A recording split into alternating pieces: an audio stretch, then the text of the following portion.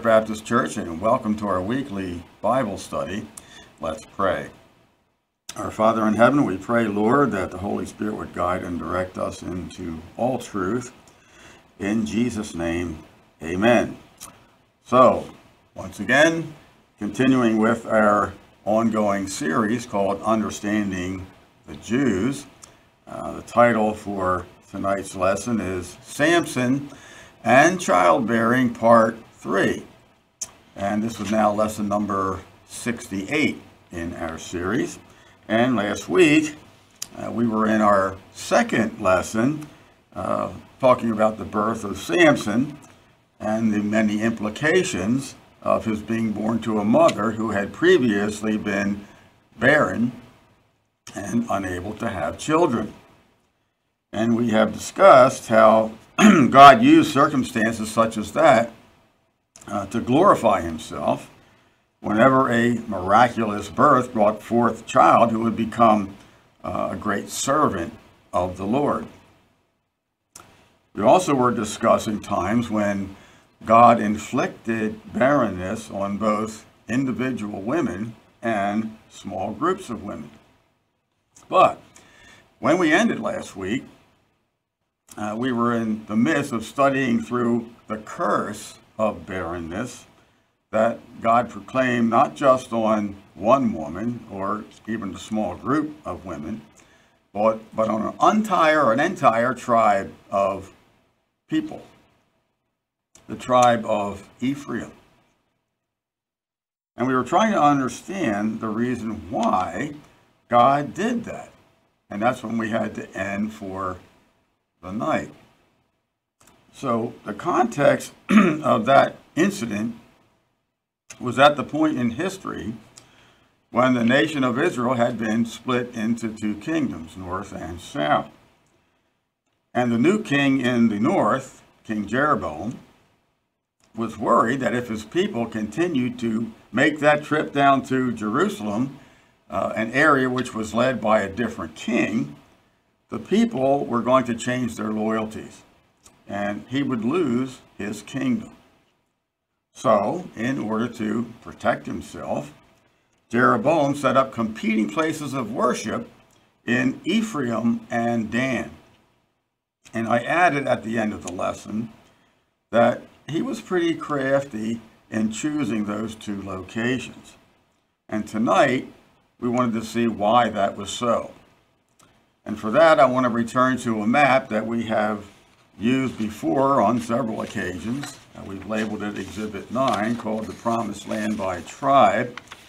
And you will see on this map uh, that Judah is the large area. It should be bluish color on the map if you're looking at it. Uh, that's the large area comprising the bulk of the southern kingdom. And along with Benjamin, it would form the entire border between the northern kingdom and the southern kingdom. The map also shows that the tribe of Ephraim and Dan, which is like the pinkish and orangish color up there, those are the tribes that shared almost the entirety of the border with Judah and Benjamin. So, where did we say that Jeroboam placed these new worship centers? Oh, yes, that would be Ephraim and Dan. Now, given that location, almost everyone in the northern kingdom who would be making that pilgrimage down to the city of Jerusalem would have to pass through either Dan or Ephraim to get there. Surely, Jeroboam reasoned that if such travelers saw their fellow citizens of the northern kingdom worshiping in these new northern sites, which were located within their own country, they would be greatly persuaded to join in with their brothers in the north. And we know that was the case because Jeroboam's plan worked. The Jews in the north stopped coming to Jerusalem. And thus, Jeroboam no longer had to worry about losing the loyalty of his constituents to the king of Judah, and of course, not losing his own head in the process. Now, from the verse that we read in Hosea last week, we saw that Hosea was really placing the bulk of the blame for this circumstance on Ephraim. And that blame must be owed to two things. First, it was Ephraim that shared the longest border with Judah and would therefore have contact with the greatest number of pilgrims. And second, that there always has to be somebody who decides to go first. The first to turn his back on God, and the first to agree with Jeroboam's ungodly commandment. And listen, once Ephraim was on board, all the rest of the northern kingdom fell like dominoes. Bump, bump, bump. That's why the sin of Ephraim was counted more despicable than was the sin of the others who were influenced by Ephraim and who then followed after Ephraim's example.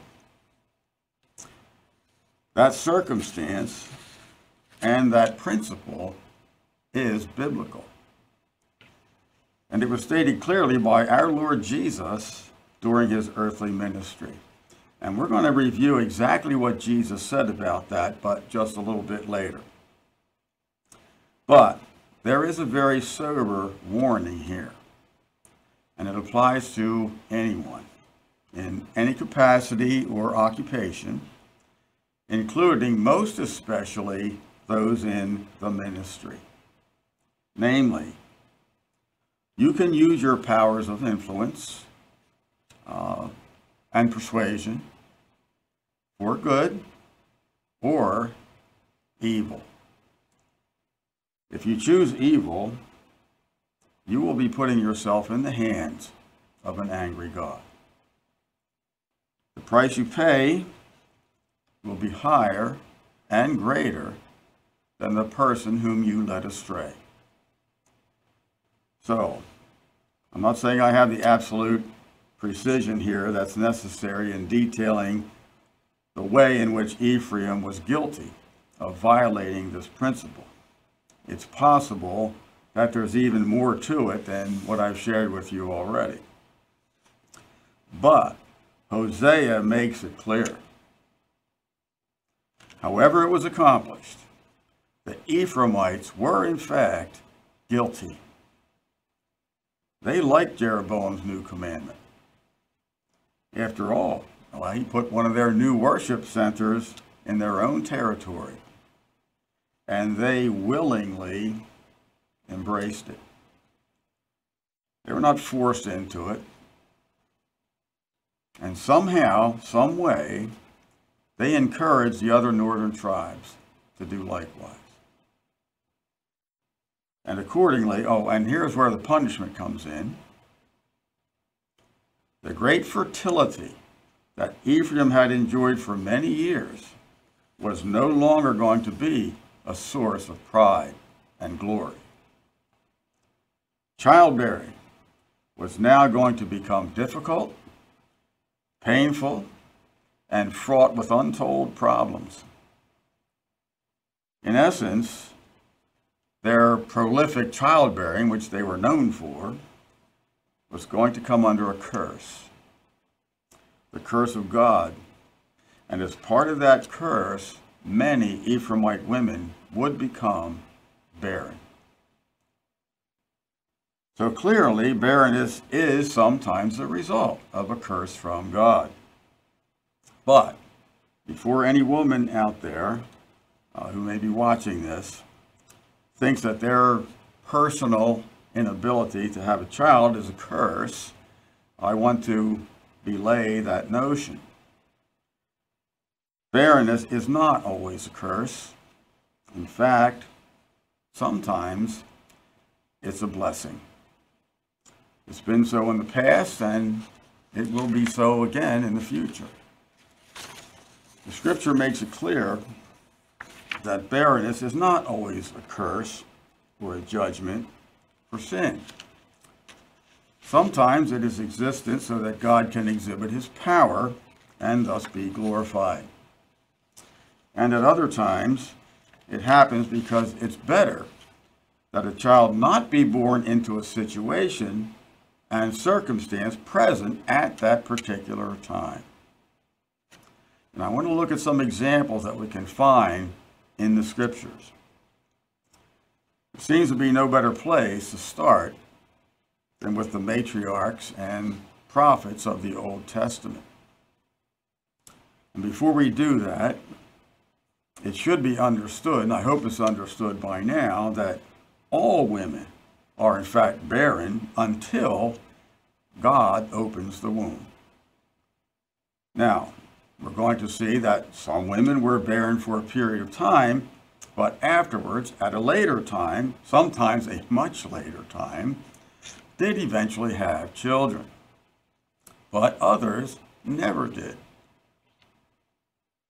Abraham's wife, Sarah, was barren for almost the entirety of her life. But it was no curse. Because when she was in her 90s, she had Isaac, the glory of God, a child of promise, without whom there would be no Israel. Let's take a look in Genesis chapter 11. I want to look at two verses, 29 and 30. The scripture reads, And Abraham and Nahor took them wives.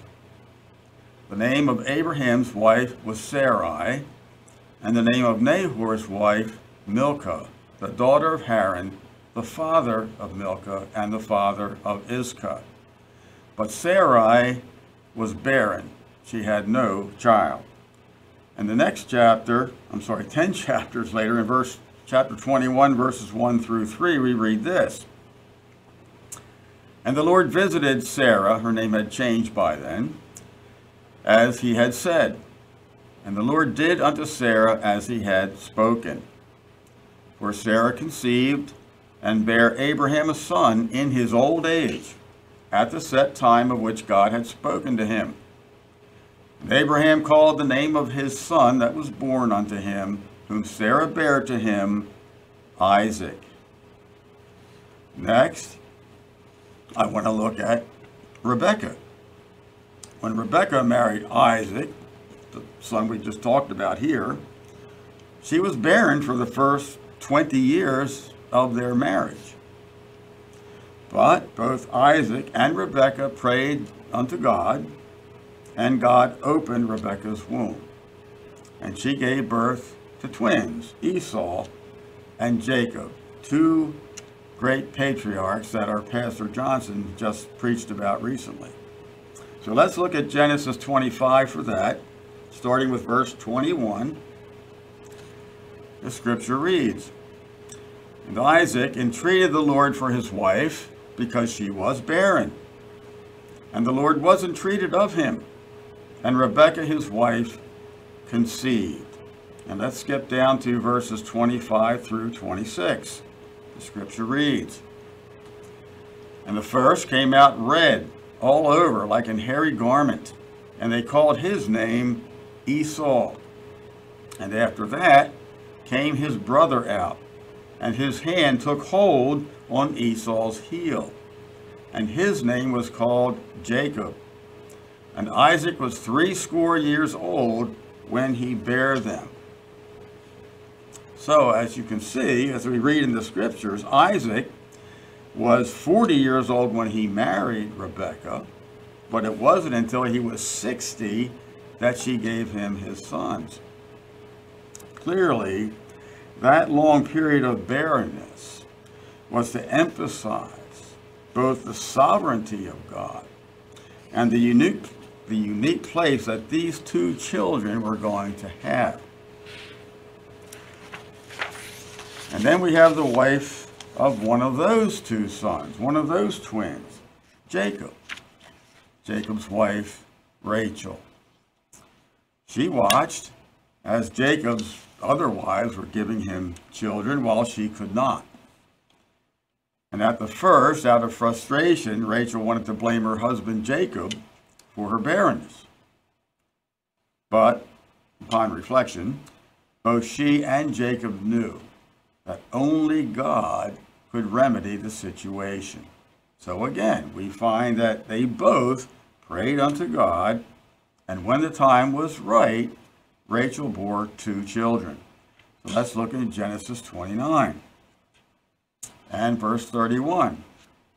The scripture reads, And when the Lord saw that Leah was hated, he opened her womb, but Rachel was barren. But let's move to chapter 30, verses 1 and 2. The scripture reads, And when Rachel saw that she bare Jacob no children, Rachel envied her sister, and said unto Jacob, Give me children, or else I die. And Jacob's anger was kindled against Rachel. And he said, Am I in God's stead? Who hath withheld from thee the fruit of the womb? So there's an, a long interval here, really of some undetermined length, an interval between the time that Jacob first married Rachel's sister Leah and when Rachel finally gave Jacob a son. But we do know that it was pretty long. Uh, we know that because Rachel didn't bear any children until after Jacob's other wife, Leah, and two of his concubines had already given him 10 sons. It wasn't until then that God was pleased to remember Rachel. Let's go to Genesis 30 verses 22 through 24. The scripture reads, And God remembered Rachel. And God hearkened to her and opened her womb. And she conceived and bare a son, and said, God hath taken away my reproach. And she called his name Joseph, and said, The Lord shall add to me another son. So Rachel at long last had two sons, Joseph and Benjamin. Once again, we find that those two sons were to hold a prominent position, prominent position in Israel. It would be Joseph who would be the savior of Israel, the one who would preserve his father Jacob's household during a time of great famine a time when the providence of God had made Joseph a leader in Egypt, a man who had stewardship over all of Pharaoh's food supplies. That was no coincidence.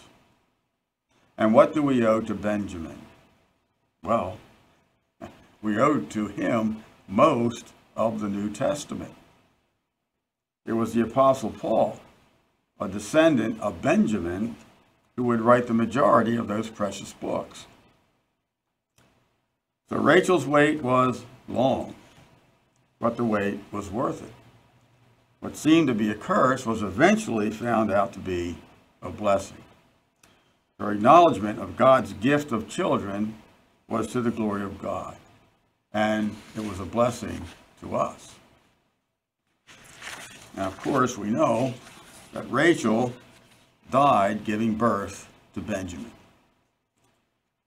The reason for her death is uncertain, but it is surely ironic in the passage we read, excuse me, in Genesis 30, verse 1, Rachel said if Jacob didn't give her children, she would die, only to end up dying in the act of having a child. And then we have the case that we are now studying. The wife of Manoah, who would give birth to Samson. We don't even know her name. It's not given to us in the Bible. But we know that she was not able to bear children for a long time, long enough to be called barren. But again, God touched her barrenness and she bore Samson, who would begin to deliver Israel out of the hands of the Philistines. Now, I'm not going to take you to those scriptures right now because we're going to return to the account of Samson after this intervening discussion that we're having about barrenness. But by now, I think you're starting to see the pattern that I was talking about earlier. But I want to touch on just two more examples one in the Old Testament, one in the New Testament. And then I want to look at yet one more aspect of barrenness, one that is in a different category from the ones we're considering right now. So let's first turn to the woman in the Old Testament named Hannah. For that, we'll go to 1 Samuel chapter 1. This will be verses 1 through 11. The scripture reads Now there was a certain man of Zophim of Mount Ephraim, and his name was Elkanah, the son of Jeroham, the son of Elihu, the son of Tohu, the son of Zoph, an Ephraimite. And he had two wives. The name of the one was Hannah, and the name of the other Peninnah. And Peninnah had children, but Hannah had no children. And this man went up out of his city yearly to worship and to sacrifice unto the Lord of hosts in Shiloh. And the two sons of Eli, Hophni and Phinehas, the priests of the Lord, were there. And when the time was that Elkanah offered, he gave to Peninnah his wife and to all her sons and her daughters portions. But unto Hannah he gave a worthy portion, for he loved Hannah. But the Lord had shut up her womb. And her adversary also provoked her sore, for to make her fret, because the Lord had shut up her womb.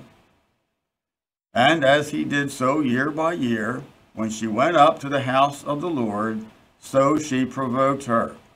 Therefore she wept, and did not eat. Then said Elkanah her husband to her, Hannah, why weepest thou? And why eatest thou not? And why is thy heart grieved? Am not I better to thee than ten sons? So Hannah rose up after they had eaten in Shiloh, and after they had drunk. Now Eli the priest sat upon a seat by a post of the temple of the Lord. And she was in bitterness of soul, and prayed unto the Lord, and wept sore. And listen, and she vowed a vow, and said, O Lord of hosts, if thou wilt indeed look upon the affliction of thine handmaid, and remember me, and not forget thine handmaid, but will give unto thine handmaid a man child, then I will give him unto the Lord all the days of his life, and there shall no razor come upon his head. Now, once again, we see a woman under great stress because she had no child. And she prayed fervently unto God for him to intercede. In fact, her prayer and her grief was such that the priest of the temple where she was praying, Eli, thought she was drunk. But God would turn her situation around when she conceived and bore the great Samuel, a man who would anoint the first king of Israel. And lastly, now I want to go to the New Testament. And befitting the season that we're in, Christmas, uh, we have Elizabeth. So let's go to the uh, Gospel of Luke, chapter 1, verses 5 through 7. The scripture reads, there was in the days of Herod, the king of Judea, a certain priest named Zacharias of the course of Abiah, and his wife was of the daughters of Aaron, and her name was Elizabeth. And they were both righteous before God, walking in all the commandments and ordinances of the Lord blameless. And they had no child, because that Elizabeth was barren, and they both were now well stricken in years. So we see at least two things here, I think, that are relevant. First, we see that Elizabeth was well stricken in years, meaning that she was beyond her childbearing years. There would be no other reason to highlight how old she was. And the same goes for her husband, Zacharias. Secondly, well, apart from perhaps Enoch, uh, their personal righteousness was described in about as favorable a way as you will find in the Bible. In fact, the term that's used is righteous and blameless. How can that be? How can they be called righteous? We know that our own righteousness is as filthy rags before God. Amen? And that is true. So we must see their righteousness in the context and meaning of the description given. The scripture says that the way in which they walked after the commandments and ordinances of the Lord, they were seen as blameless. What does that mean? We know that only Christ was sinless. So we cannot take from this passage that Zacharias and Elizabeth were sinless. They were not sinless. But in the eyes of their contemporaries, they were blameless. No one among the Jews could charge them with not following after the will of God in all things. They were really among the best that the Jews had to offer such as it were. Whenever they failed, they repented. They redoubled their efforts to get back into God's good graces. They respected and believed the commandments, and they purposed, at least, to keep all the ordinances of God. One of which was the Levitical sacrificial system. And by this description that we see in Luke 1 6, it is certain that they understood the Passover sacrifice as pointing to the Messiah. Their faith was not in a political Messiah, but in the true Messiah, the Christ of God. And hence, their righteousness was not their own, but his as is the case for every true believer throughout all the ages. So having been given this glowing description of Elizabeth and Zacharias, uh, we really can't in any way understand her barrenness as being some kind of a curse from God. Doesn't fit. Uh, her failure to produce a child was clearly for a different reason. Let's go to Luke chapter 1 and verse 13. The scripture reads, But the angel said unto him, Fear not, Zacharias, for thy prayer is heard and thy wife Elizabeth shall bear thee a son, and thou shalt call his name John. So now, right here, we find the reason for the barrenness of Elizabeth. Her miraculous conception was used to the glory of God because her son John, born in such a remarkable way, would be the one who would finally announce the arrival of Jesus Christ, the Savior. And Jesus said that in his eyes, Jesus' eyes, there had never been a man born to woman that was greater than John. A man born to parents who were both supposedly too old to have children.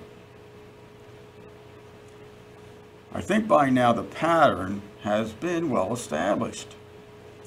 Not that God used this method in every case, because he didn't, but it's just as clear that oftentimes women who were barren were used of God to bring glory to his name by interceding in that barrenness and producing a child of great consequence.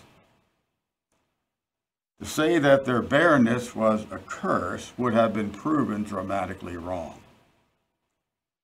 Now, before you call to me, call me to account, I will state the obvious. All of these women that we have discussed eventually did have children. So their barrenness was temporary. They were not truly barren, at least not in the fullest sense. That is technically true. But absent the clear intervention of God, their long-standing condition of barrenness would not have changed. So, we have seen in the scriptures that barrenness may or may not be a curse from God. It is totally dependent on the purposes of God. But what about the other side of the coin? Are there times when barrenness is actually a blessing?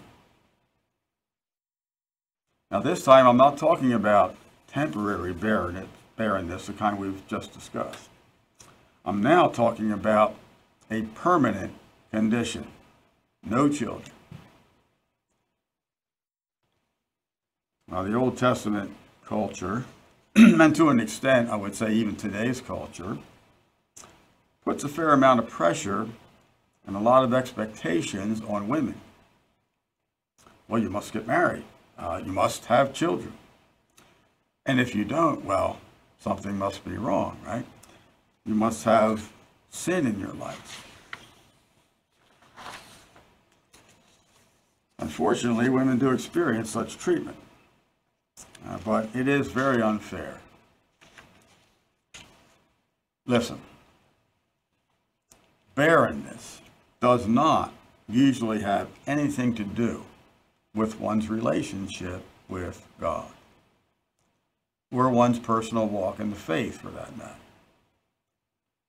We need to set those notions aside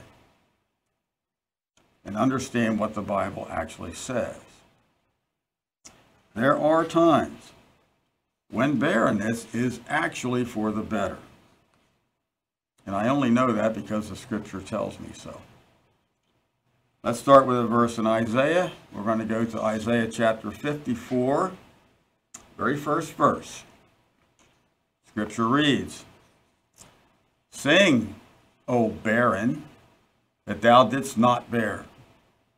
Break forth into singing and cry aloud, thou that didst not travail with child. For more are the children of the desolate than the children of the married wife, saith the Lord. Now it's tempting, I guess, and I could just take this verse and run with it and say, ah, there it is. A woman who's barren should sing for joy. and somehow make us think that that's what this verse is all about. Not quite. Part of the message, and in one sense there is some truth in it, but in the opinion of most Bible scholars, there is a context that should not be missed. And we find it in the second half of that verse. We read it. It says, quote, More are the children of the desolate than the married wife. That phrase modifies and informs the first half of the verse that talks about those women singing. What question needs to be answered? The question is, why would barren women be singing? Under what circumstances would that be so? It certainly wouldn't have been a general application, and it doesn't have a general application. But it does have a specific one, one that was experienced in the Old Testament. And I will mention that our Lord Jesus talked about three other exceptions in the New Testament. But again, as I said, I will get to those down the road just a little bit later. But first, let's talk about the desolate who will have more children than the married wife. When you talk about the desolate, or the desolation of Israel, what are we talking about? And what would be the connection with the subject at hand? Namely, a woman's preference for barrenness. Well, time prevents me from getting into that right now. But Lord willing, we will start with that question next week. So until then, please remember to pray for all those on our prayer list. Until we meet again, shalom.